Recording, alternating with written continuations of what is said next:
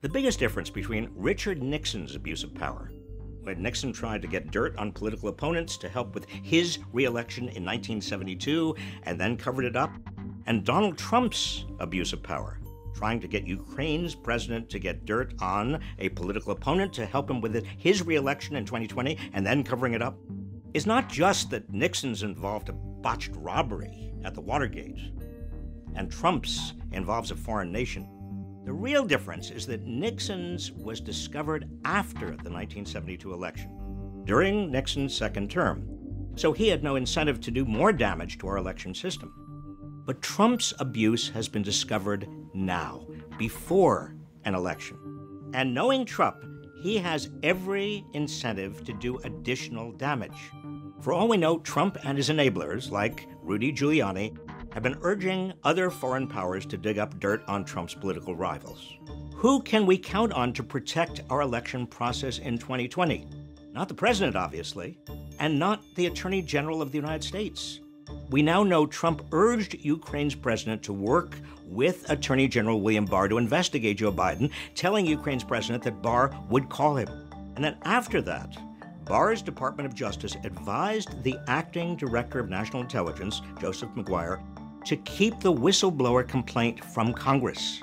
And Barr's Justice Department ruled out the possibility of criminal conduct on the part of Trump. Now remember, this is the same Attorney General, by the way, who released what he said was a summary of Robert Mueller's findings after a nearly two year investigation of Russian election interference, emphasizing that there wasn't enough evidence to show the Trump campaign had conspired with Russia, even though Mueller found that the campaign had welcomed Russia's help.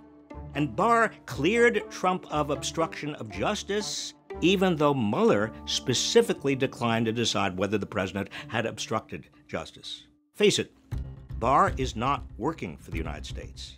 He's working for Trump, just like Rudy Giuliani is working for Trump just like all the lapdogs and sycophants that are supposed to be protecting America but are protecting Trump. U.S. intelligence says there's every reason to believe Russia will try to intervene again in 2020. But what are the odds Trump or his lackeys are urging Putin to do so? What about other nations that Trump could be encouraging to spread disinformation on social media or interfere with voter databases or election machines. Trump has shown himself willing to trample every aspect of our democracy that gets in his way attacking the media, using the presidency for personal profit, packing the federal courts, verbally attacking judges, undermining and subverting the separation of powers. But as long as his presidency can be ended by an election, he's not yet destroyed our democracy. If this man is reelected, there is no telling what he will do. In other words, the real value of this impeachment is to put Trump on notice that he cannot get away with abusing his presidential power to win reelection. He will still try, of course, but at least a line has been drawn. And now everyone is watching. The lesson we should be taking from Trump's request to the president of Ukraine to dig up dirt on Joe Biden as well as everything else this man has done over the past two and a half years, is we must be vigilant in protecting the 2020 election.